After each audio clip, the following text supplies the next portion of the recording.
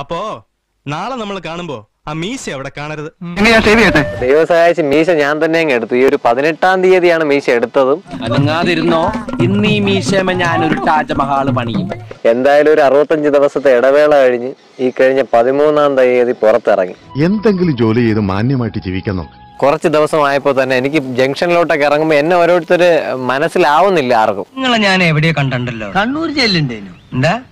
Kannur central ജയിലിൽ ഉണ്ടായിരുന്നോന്ന് ഒന്ന് പോടോടുന്നു ഇത് ഇവനല്ലേ? ഇത് പീഡന വീരനല്ലേ? എന്നുള്ള രീതിയിൽ പലരും പേടിപ്പിച്ചല്ലേ മോളെ പീഡിപ്പിച്ചതാ. എന്ന് പറഞ്ഞാൽ എന്തുവാ? പോടാ തള്ളക്കറിയാം എടി എന്തിനാടി നീ യുവമാരോടൊക്കെ സംസാരിക്കാൻ നിൽക്കുന്ന? കേറി പൊടി അകത്ത്. എന്റെ ഭാഗത്ത് അവൻ എങ്ങനെയാണ് എന്ന് മനസ്സിലാക്കി കുറച്ചു പേരെങ്കിലും ഉണ്ട്. അത്രയ്ക്ക് എനിക്ക് ഇഷ്ടമല്ലേ രതീഷേട്ടന്?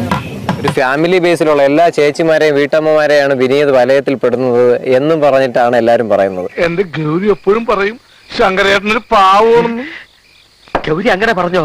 പറഞ്ഞു. നമ്മളെ നാട്ടിൽ പറയും പോലെ പെണ്ണ് കേസ് എന്ന് പറയാൻ അത്രയ്ക്ക് ഒരു സ്വഭാവം കാണിക്കേണ്ട കാര്യം എനിക്കില്ല കാര്യം എന്റെ പൊന്ന് ടീച്ചറെ അപ്പുറത്തൊരു ശബ്ദം കേട്ടപ്പം ഞാൻ എത്തി നോക്കിയതാ. എന്തായാലും ഈ കേസുകൾ തുടർന്ന് കുറച്ച് ദിവസത്തിനുള്ളിൽ തന്നെ സത്യാവസ്ഥ നിങ്ങൾക്ക് എല്ലാവർക്കും മനസ്സിലാവും. സത്യം എന്നായാലും തെളിഞ്ഞു വരും. വന്നേ.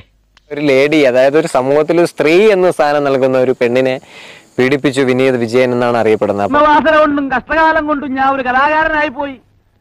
കാശും പണവും മോഹിച്ചിട്ടല്ല ഈ രംഗത്ത് വന്നത്. അപ്പം വിനീത് ഒരിക്കലും പീഡിപ്പിക്കേണ്ട കാര്യമില്ല. സൗഹൃദത്തിനിടയ്ക്കുണ്ടായ ഒരു ഇഷ്യൂ ഇത്രയും വരെ വളർത്തി. ഇത് താൻ പോയി വല്ല സ്കൂൾ മാഷന്മാരോടും പറയാം. ചിലപ്പോ അവർ വിശ്വസിച്ചോളൂ.